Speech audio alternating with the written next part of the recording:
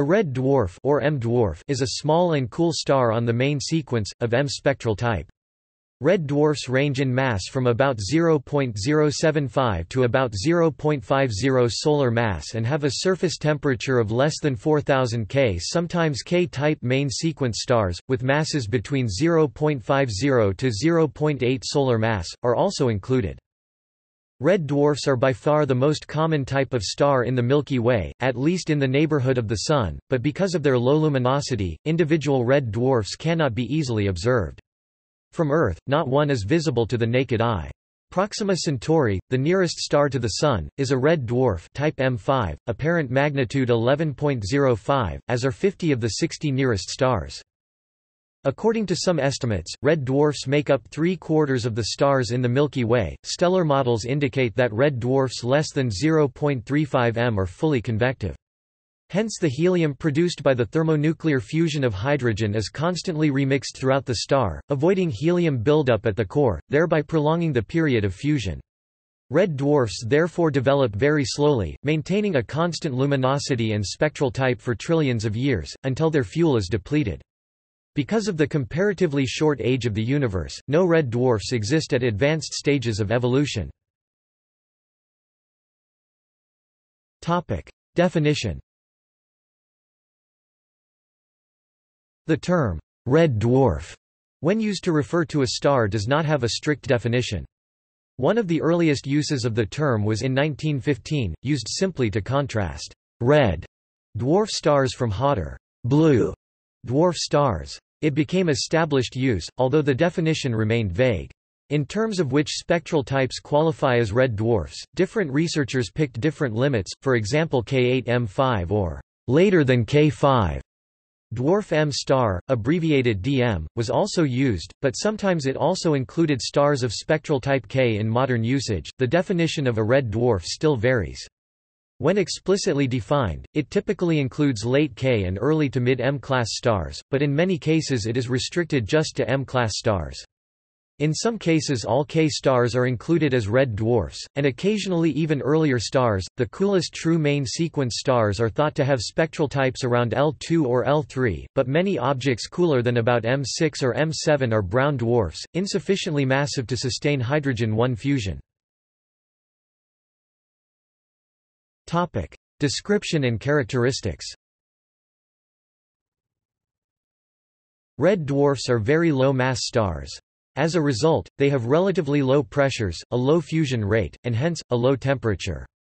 The energy generated is the product of nuclear fusion of hydrogen into helium by way of the proton-proton chain mechanism. Hence, these stars emit little light, sometimes as little as one ten-thousandth that of the Sun. Even the largest red dwarfs for example HD 179930, HIP 12961 and Lacaille 8760 have only about 10% of the Sun's luminosity. In general, red dwarfs less than 0.35 m transport energy from the core to the surface by convection. Convection occurs because of opacity of the interior, which has a high density compared to the temperature. As a result, energy transfer by radiation is decreased, and instead convection is the main form of energy transport to the surface of the star. Above this mass, a red dwarf will have a region around its core where convection does not occur. Because low-mass red dwarfs are fully convective, helium does not accumulate at the core, and compared to larger stars such as the Sun, they can burn a larger proportion of their hydrogen before leaving the main sequence. As a result, red dwarfs have estimated lifespans far longer than the present age of the universe, and stars less than 0.8 m have not had time to leave the main sequence. The lower the mass of a red dwarf, the longer the lifespan. It is believed that the lifespan of these stars exceeds the expected 10 billion year lifespan of our Sun by the third or fourth power of the ratio of the solar mass to their masses, thus, a 0.1 m red dwarf may continue burning for 10 trillion years. As the proportion of hydrogen in a red dwarf is consumed, the rate of fusion declines and the core starts to contract. The gravitational energy released by this size reduction is converted into heat, which is carried throughout the star by convection. According to computer simulations, the minimum mass a red dwarf must have in order to eventually evolve into a red giant is 0.25 m. Less massive objects, as they age, would increase their surface temperatures and luminosities becoming blue dwarfs and finally white dwarfs. The less massive the star, the longer this evolutionary process takes.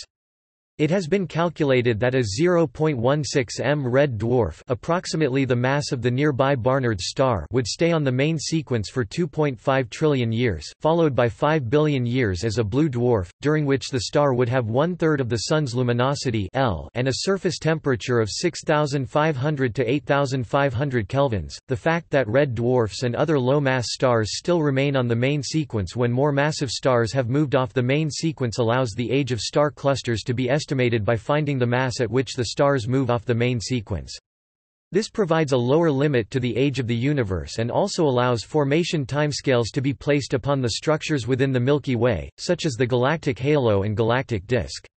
All observed red dwarfs contain metals, which in astronomy are elements heavier than hydrogen and helium. The Big Bang model predicts that the first generation of stars should have only hydrogen, helium, and trace amounts of lithium, and hence would be of low metallicity. With their extreme lifespans, any red dwarfs that were a part of that first generation population 3 stars should still exist today. Low metallicity red dwarfs, however, are rare. There are several explanations for the missing population of metal-poor red dwarfs. The preferred explanation is that, without heavy elements, only large stars can form. Large stars rapidly burn out and explode as supernova, spewing heavy elements that then allow higher metallicity stars population 2 stars, including red dwarfs to form. Alternative explanations of the scarcity of metal-poor red dwarfs, such as their dimness and scarcity, are considered less likely because they appear to conflict with stellar evolution models.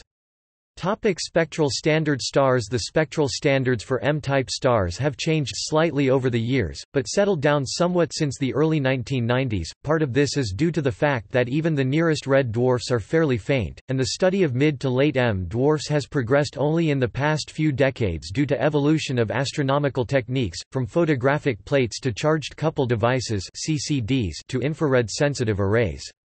The revised Yerkes Atlas system Johnson and Morgan 1953 listed only two M-type spectral standard stars, HD 147379 MOV and HD 95735, Lalande 21185 M2V.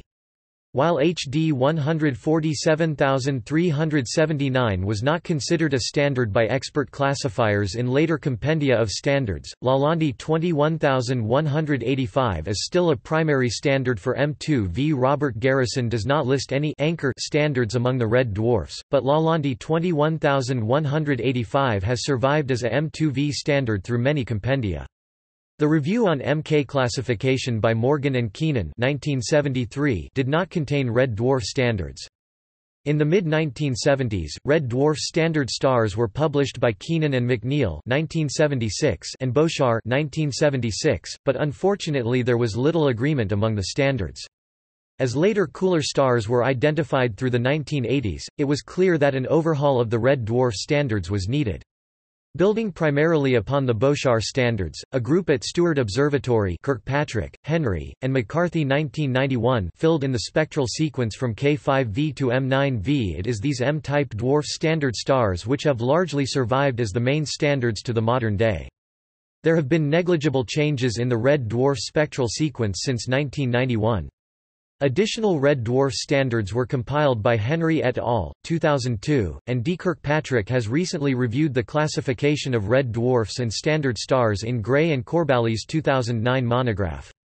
The M-dwarf primary spectral standards are GJ 270 MOV, GJ 229A M1V, Lalande 21185 M2V, Gliese 581 M3V, Gliese 402 M4V, GJ 51 M5V, Wolf 359 M6V, Van Biesbroeck 8 M7V, VB10 M8V, LHS 2924 M9V. Topic planets Many red dwarfs are orbited by exoplanets, but large Jupiter-sized planets are comparatively rare. Doppler surveys of a wide variety of stars indicate about 1 in 6 stars with twice the mass of the Sun are orbited by one or more Jupiter-sized planets, versus 1 in 16 for Sun-like stars and only 1 in 50 for red dwarfs. On the other hand, microlensing surveys indicate that long orbital period Neptune-mass planets are found around 1 in 3 red dwarfs. Observations with HARPS further indicate 40% of red dwarfs have a super-Earth class planet orbiting in the habitable zone where liquid water can exist on the surface. Computer simulations of the formation of planets around low-mass stars predict that Earth-sized planets are most abundant, but more than 90% of the simulated planets are at least 10% water by mass, suggesting that many Earth-sized planets orbiting red dwarf stars are covered in deep oceans. At least four and possibly up to six exoplanets were discovered orbiting within the Gliese 581 planetary system between 2005 and 2010. One planet has about the mass of Neptune, or 16 Earth masses m. It orbits just 6 million kilometers (0.04 astronomical units) from its star and is estimated to have a surface temperature of 150 degrees Celsius despite the dimness of its star. In 2006, an even smaller exoplanet only 5.5 m was found orbiting the red dwarf OGLE 2005 BLG 390L. It lies 390 million kilometers (2.6 astronomical units) from the star and its surface temperature is -220 degrees Celsius (56 K). In 2007, a new, potentially habitable exoplanet, Gliese 581c, was found, orbiting Gliese 581. The minimum mass estimated by its discoverers a team led by Stefan Udry is 5.36 m. The discoverers estimate its radius to be 1.5 times that of Earth r. Since then Gliese 581d, which is also potentially habitable, was discovered. Gliese 581 C and D are within the habitable zone of the host star, and are two of the most likely candidates for habitability of any exoplanets discovered so far. Gliese 581 grams, detected September 2010, has a near-circular orbit in the middle of the star's habitable zone. However, the planet's existence is contested. On the 23rd of February 2017, NASA announced the discovery of seven Earth-sized planets orbiting the red dwarf star TRAPPIST-1 approximately 39 light-years away in the constellation Aquarius. The planets were discovered through the transit method, meaning we have mass and radius information for all of them. TRAPPIST-1e, F and G appear to be within the habitable zone and may have liquid water on the surface. Topic habitability Planetary habitability of red dwarf systems is subject to some debate. In spite of their great numbers and long lifespans, there are several factors which may make life difficult on planets around a red dwarf. First, planets in the habitable zone of a red dwarf would be so close to the parent star that they would likely be tidally locked. This would mean that one side would be in perpetual daylight and the other in eternal night. This could create enormous temperature variations from one side of the planet to the other. Such conditions would appear to make it difficult for forms of life similar to those on Earth to evolve. And it appears there is a great problem with the atmosphere of such tidally locked planets. The perpetual night zone would be cold enough to freeze the main gases of their atmospheres, leaving the daylight zone bare and dry. On the other hand, recent theories propose that either a thick atmosphere or planetary ocean could potentially circulate heat around such a planet. Variability in stellar energy output may also have negative impacts on the development of life. Red dwarfs are often flare stars, which can emit gigantic flares, doubling their brightness in minutes. This variability may also make it difficult for life to develop and persist near a red dwarf. It may be possible for a planet orbiting close to a red dwarf to keep its atmosphere even if the star flares.